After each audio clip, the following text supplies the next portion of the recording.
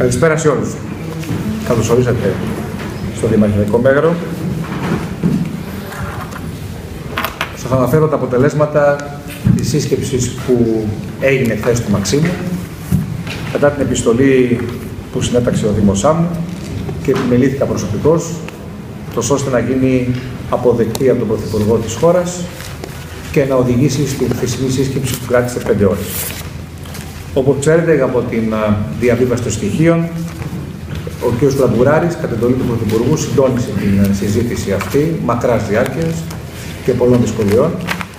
Και σε αυτή συμμετείχαν ο Υπουργός Γεωργιάννης Μουζάλας, ο αναπληρωτής Υπουργός Εθνικής Άμυνας κ. Δημήτρης Βίτσας, η Υπουργός Κοινωνικής Αλληλεγγύης κ. Θεανό Φωτίου, ο Υφυπουργός Πρωτοπρωθυπουργό κ. Τέρεν Κουίκ, ο Υφυπουργός Οικονομίας Ανάπτυξης και Τουρισμού κ. Αλέξης Κυρίτσι, ο Διευθυντής Αναπληρωτή του Υπουργού Προστασίας του Πολίτη κ. Σαδακτηλίδη, η Περιφερειάρχη Βορειογείου κ. Καλογύρου, ο Βουλευτής του νομού Δημήτρης Σαβαστάκης, η αντιπροσωπεία της ΣΑΜΟ ήταν ο Μιλών, ο Λυσό Μαυρατζώτης και ο Πάζη Παπαγεωργίου, πρόσωπο του Ελληνικού Ταμείου και αντιδήμαρχος ΣΑΜΟ. Μετά από μακρά διαδικασία, παραλαμβάνω, για πρώτη φορά ένα κείμενο δεν είναι δελτίο τύπου, δεν είναι μία ανακοίνωση, δεν είναι μία προφορική θέσμευση, είναι ένα κείμενο που φέρει υπογραφές όλων των συναρμόδιων υπουργών. Περιμένουμε λοιπόν, και αυτό είναι το πρώτο που θέτω ενώπιόν σας, την τήρηση της υπογραφής. Από όλους. Όπως αυτή ετέθη ε, στις 6 ώρα το απόγευμα. Το πρώτο θέμα που έθεσε ο Δήμος Σάμου ήταν αυτό που είχε αποφασίσει το Δημοτικό Συμβούλιο Σάμου με ευρία πλειοψηφία και με συγκεκριμένο τρόπο που είναι η αποσυμφόρηση των νησιών. Η δέσμευση που υπάρχει από την κυβερνητική πλευρά, χωρίς περαιτέρω σχόλια, είναι η αποσυμφόρηση αυτή να αρχίσει την επόμενη εβδομάδα. Η αποσυμφόρηση αυτή θα γίνεται σύμφωνα με τα λεχθέντα από πλευράς των Υπουργών και εδώ μιλώ Βίτσα και Μπουζάλα, σταδιακά σε μικρές ομάδες, γιατί η μελέτη τους ή η προσέγγιση τους έδειξε και σημείωσε ότι οι μεγάλες αναχωρήσεις σε αριθμό μπορούν να φέρουν αυτόματα μεγάλη έλευση άλλων μεταναστών ή και προσφύγων από την απέναντι πλευρά. Αυτό είναι το πρώτο σημείο. Το δεύτερο σημείο, το οποίο κατά τη γνώμη μου και το τόνισα αυτό παρουσία του συναδέλφου μου, ότι είναι προϋπόθεση όλων, είναι η στελέχωση της υπηρεσίας ασύλου με ικανό αριθμό ατόμων, ούτως ώστε να διεκπεριώνονται πλήρως και γρήγορα οι αιτήσεις του ασύλου. Έτσι λοιπόν η δέσμευση που για πρώτη φορά προσδιορίστηκε με αριθμό προσώπων είναι η στελέχωση της υπηρεσίας με 28 άτομα μέχρι τα μέσα Νοεμβρίου. Υπενθυμίζω ότι τον Ιούνιο είχε 3, τον, τώρα έχει 7, αναμένεται ακόμα 20 άτομα. Τα επόμενα 7, όπως ε, εκμεύσαν αντιδήμαρχος και πρόεδρος του Δημοτικού Ταμείου, θα έρθουν σε 10 μέρες από σήμερα. Το τρίτο σημαντικό σημείο που ετέθη, σας τα λέω με στη σειρά αναφοράς τους και δέσμευσης, ήταν το θέμα των μη κυβερνητικών οργανώσεων. Όπως ξέρετε, από τις 15 Νοεμβρίου 2015 έχω συντάξει έγγραφο που αφορά τον οδικό χάρτη που πρέπει μια ευνομούμενη χώρα να έχει οθετήσει για τις μη κυβερνητικές οργανώσεις και να ξέρει ο καθένας τι ρόλο έχουν, ποια αρμοδιότητα αναλαμβάνει, ποιο σκοπό πληρούν. Και επίσης, ε, όπως ξέρετε, κάναμε και διάκριση μεταξύ διεθνών οργανισμών και μη διεθνών νοικιών, που απλώς και μόνο κατασκευάζονται νομικά σε μια χώρα της Ένωσης και ανακοινώνονται ως ώρα τη λειτουργία τους με κάποιο τυπικό που έχουν στα κράτη-μέλη που δραστηριοποιούνται. Δηλαδή, μην μπλέκουμε εδώ την υπαδιαρμοστία, το Συμβούλιο για τους Πρόσφυγες, ε, τον ΟΗΕ και, όλους, και τους γιατρούς χωρί σύνορα, ας πούμε, χάρη που είναι άλλη δομή οργάνωση από τις υπόλοιπες που λέγονται ε, σώστε ε, τον πελαργό με όλο σεβασμό, είναι μια περιβαλλοντική οργάνωση αυτή, αλλά δεν έχει σχέση με την άσκηση καθήκοντος στο προσφυγικό μεταναστευτικό. Επίσης, στο κομμάτι αυτό παραθέσαμε στοιχεία, πλήρη στοιχεία, για τη χρηματοδότηση μετά τη μελέτη που έκανε η ΚΕΔΕ και ανακοίνωσε εδώ στο πολύ σημαντικό συνέδριο της Κεντρικής Ένωσης των Ελλάδος αρχές Ιουνίου με στρατηγική επιλέγει να γίνει εδώ και η ομοφωνία του Συμβουλίου για τις χρηματοδοτήσεις. 343 εκατομμύρια έχουν εισπράξει η ελληνική πλευρά ή έχουν εκταμιευθεί από τα ευρωπαϊκά ταμεία προς την ελληνική πλευρά. Από αυτά, σωστά το κράτος έχει παραλάβει 120, οι μη κυβερνητικέ οργανώσει όμως έχουν πάρει 88 εκατομμύρια, οι δήμοι όλης της χώρας, τη συντομένη και περιλαμβανομένη, έχουν πάρει 4,8. Προφανώς πρέπει να υπάρξει εδώ πλήρης διαφάνεια και τήρηση των νόμων από πλευράς ελέγχου που η πολιτεία μόνο μπορεί να κάνει για τις πράξεις αυτές, αλλά και η Ευρωπαϊκή Ένωση που υποχρεώται να κάνει έτσι κι αλλιώς, με βάση και την επιλεξιμότητα δαπανών.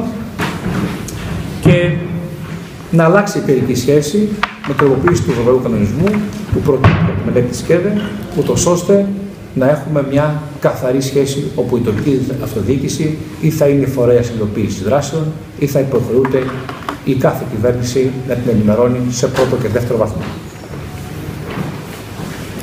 Το τέταρτο σημείο που συμφωνήθηκε ήταν τι θα γίνει με τα αναπτυξιακά κίνητρα και την αντιμετώπιση των οικονομικών και κοινωνικών επιπτώσεων σε ένα τόπο όπως ο Σάμος μας από το προσφυγικό μεταναστευτικό.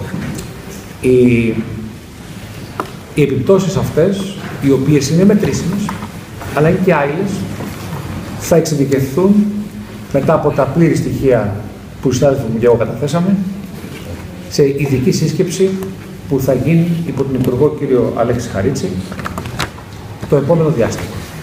Θα εξειδικεύσουμε και εμείς, αλλά και όποιοι φορείς θέλουν ενέργειες, δράσεις, προγράμματα, πρωτοβουλίες, προφανώς επιλέξιμες και προφανώς ενταγμένες στη λογική ανάπτυξη και όχι μοναδικές, ώστε να πάμε πάνω πλήν στο Υπουργείο. Καταθέσαμε εμείς πλήρες προτάσεις, θα σας πω τι περιλάμβανε και αυτό είναι ένα σημείο σημαντικής διαφοροποίησης από τα 7 σημεία της Μητυλίνης.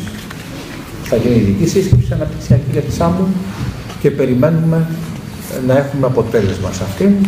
Σε όλα αυτά που σας λέω τώρα, ο Δήμος Σάμπου, την προσωπία του και προσωπικά κρατάμε χαμηλά τον πύχη, δεν έχουμε μετά από τόσες παλινοδίες και αλληλοαναιρέσεις δηλώσεων εμπιστοσύνη πλήρη.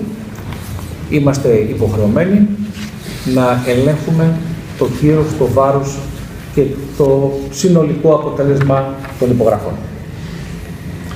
Η, τα στοιχεία που παραθέσαμε ήταν τόσο καταληκτικά όσον αφορά τομεί της οικονομίας που έχουν επιβαρυνθεί ιδιαίτερως με ειδική αναφορά στο φόρο προσθέμενης αξίας. Εκεί μας δόθηκε ευκαιρία να καταθέσουμε τον πίνακα που θα σας παραδώσω του ΦΠΑ στα κράτη-μέλη, πόσο είναι, όταν ας πούμε υπάρχουν νησιά όπως τα Κανάρια που δεν έχουν ΦΠΑ ή όπως η Μάλτα που δεν έχει, έχει μηδενικό ΦΠΑ σε διάφορες υπηρεσίες. Και βεβαίως δεν είναι μια στήρα αναφορά που θα ευνοήσει μόνο τη ΣΑΜΟ τα νησιά του Περιογαίου, είναι μια προσέγγιση συνολική η οποία δείχνει ΦΠΑ αναυπηρεσία. Δηλαδή, ξενοδοχεία, εστίες, επιβατικές μεταφορές, τρόφιμα, διατροφή δηλαδή, είσοδος σε χώρα ψυχής.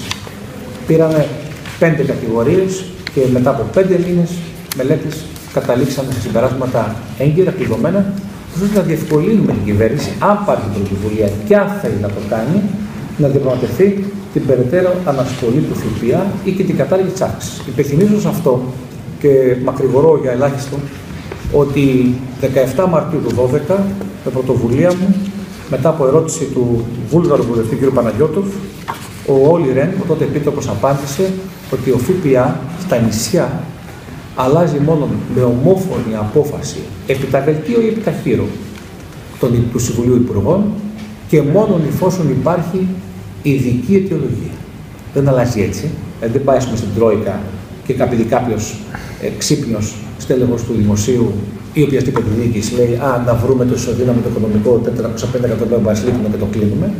Κατά τη γνώμη μου, παραβιάζεται εδώ ο βασικός πυρήνας της Ευρωπαϊκής Νομοθεσίας.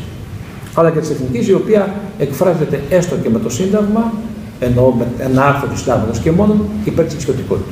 Παραβιάζει κατά βάση την αρχή της ισοτικότητας.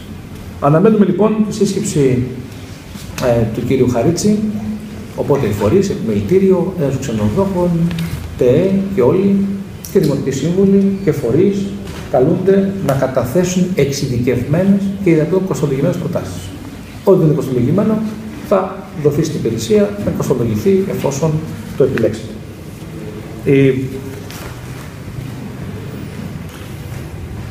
η βελτίωση των συνθηκών διαβίωσης στι ανοιχτές δομές φιλοξενίας είναι ένας οριζόντιος όρος που φροντίζει τι ευάλωτε ομάδες και τα συνόδευτα παιδιά. Όπως ξέρετε, φτιάχτηκε στην Πιανία για πρώτη φορά και ευτυχώς μια δομή για συνόδευτα παιδιά, τα οποία με χωρητικότητα 100 άτομα ή τα πρώτα 15 άτομα, 15 συνόδευτα παιδιά πήγαν εκεί. Έχουμε καταγεγραμμένα 1557 συνόδευτα, θυμάμαι καλά, σύμφωνα με τις πηγές. Πρέπει τα συνόδευτα παιδιά να πάνε σε χώρους στην πολιτική Ελλάδα, στα οποία μπορούν να προσφερθούν πραγματικές υπηρεσίες ψυχολογική στήριξη, γιατροδοκευτικέ, κανονικότητας σε μια ζωή που φαίνεται καταστραμμένη από την αρχή.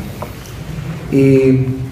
Εκεί που έγινε πάρα πολύ σκληρή μάχη και υποστήκαμε τεράστιες πιέσεις, τις οποίες αρνηθήκαμε, με επιχειρήματα, με νυφαλιότητα, με δυναμισμό, αλλά και με ακλόνητη πίστη ότι εκπροσωπώντας τον Σαμιακό λαό σε μια κοινωνία, με βάση αυτή την εντολή που έχουμε πάρει, ήταν στην σφοδρή επιθυμία του Γιάννη Μουζάλα να δημιουργηθεί ένας άλλος χώρος. Εκεί στηρίξαμε την απόφαση του Δημοτικού Συμβουλίου περί μη ύπαρξη άλλου χώρου, δυνατότητα δημιουργίας άλλου χώρου, οποιασδήποτε μορφής.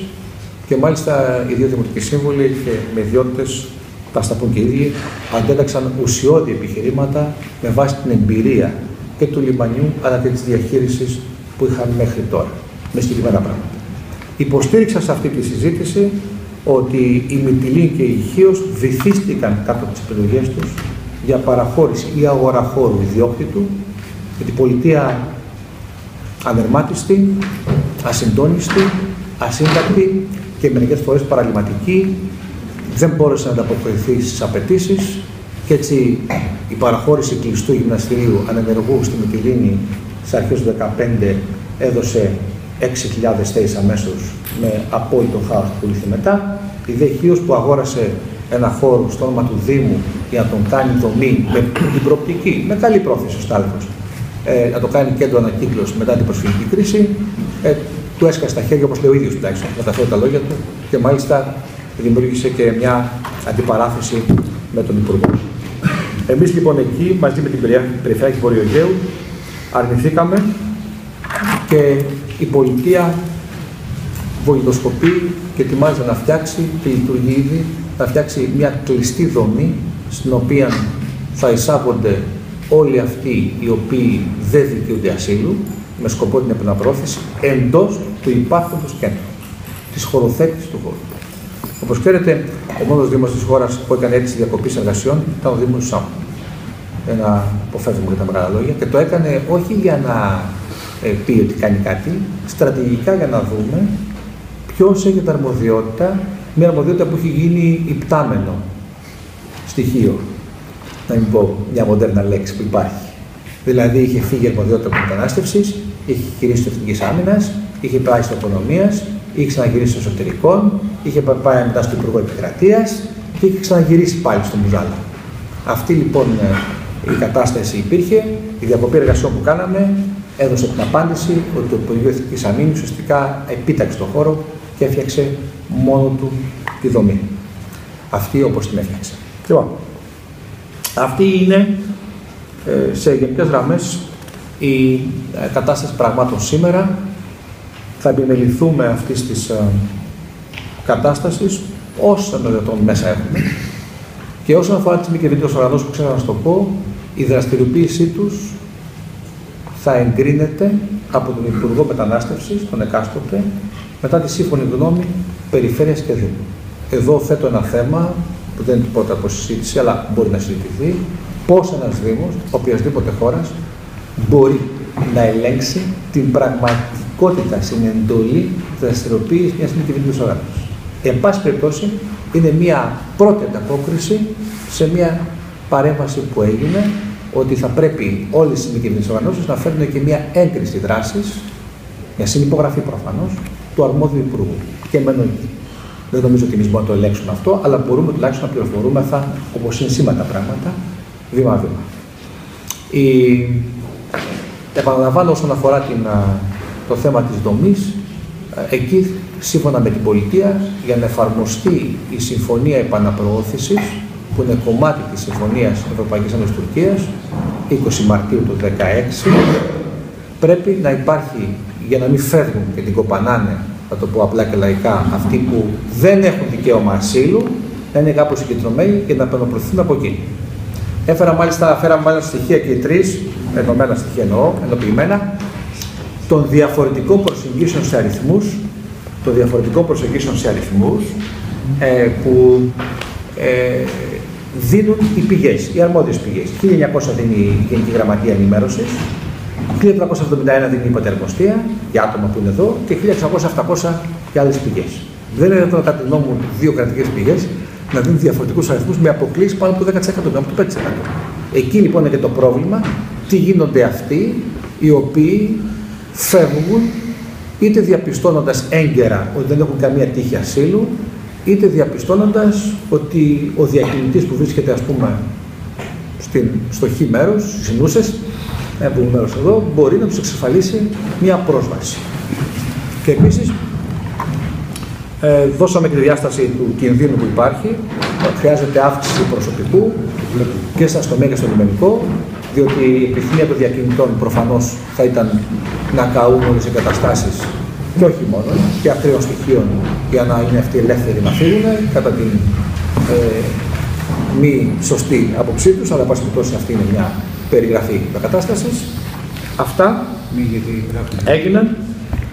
Μένω λοιπόν στις υπογραφές των αρμοδίων, στη γενική μας επιτήρηση που θα υπάρχει και βεβαίως στην σύσκεψη για το αναπτυξιακό κομμάτι το οποίο θα μας απασχολεί πολύ. Επίσης κάποιοι παραβατικοί μπορούν και εκεί να εισέρχονται με την αρμοδιότητα να υπάρχει προσοχή. Σας το τονίζω πρώτη φορά λέω στην προσοχής δημοσιογράφους, δεν είναι ο Δήμος αρμόδιος. Υπάρχει μια, μια διαδικασία σύγχυσης, η θελημένη ή αθέληση. Ότι ο Δήμος ασκεί καθήκοντα, βουλευτή, υπουργικά, ε, συντονιστικά, διαχειριστικά. Δεν είναι κάτι. Οι Δήμοι όλης της χώρας είναι εκτός αρμοδιότητας στο προσφυγικό μεταναστευτικό ζήτημα. Και ό,τι γίνεται, γίνεται με περισσή φροντίδα, τεράστια δαπάνη χρόνου και επιμέλεια υποστήριξη ενό τόπου. Παρακαλώ πολύ τον κύριο Λισό Μορατζότη και τον Πάρη να πάρουν το λόγο.